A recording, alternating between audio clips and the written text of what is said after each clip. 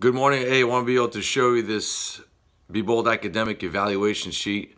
Be able to plug in the 16 core class, be able to get the simple transcript. So just follow the bouncing ball. All right.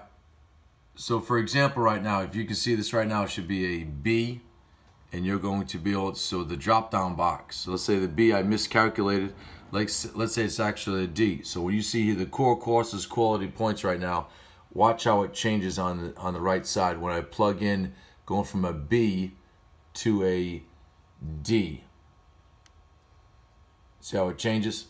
So be able to evaluate transcripts in 15 per transcript. You see what they're lacking right here as far as the math, the science going down, scroll down on the right side.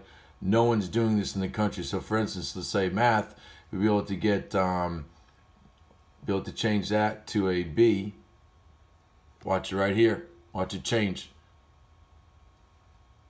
So my question to you is who's doing this in the country? God bless.